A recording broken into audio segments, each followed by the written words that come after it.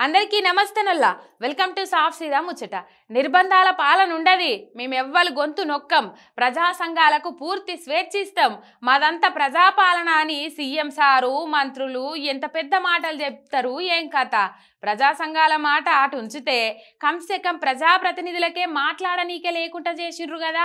నిండు అసెంబ్లీలా ప్రతిపక్షం గొంతు నొక్కేస్తాంది మన సర్కారు. ఆనాడు సమైక్యాంధ్ర లీడర్లు కూడా గీతీర్ల గొంతు నొక్కలేదు. ఆ తీర్ల నిర్బంధం పెడుతున్నట్టే ఉన్నది మన గౌరవ గవర్నమెంట్.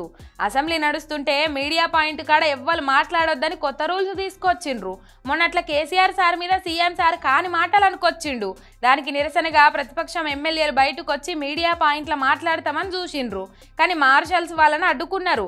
అసెంబ్లీ నడుస్తుంటే మాట్లాడనీక లేదని మాట్లాడనీయలేదు.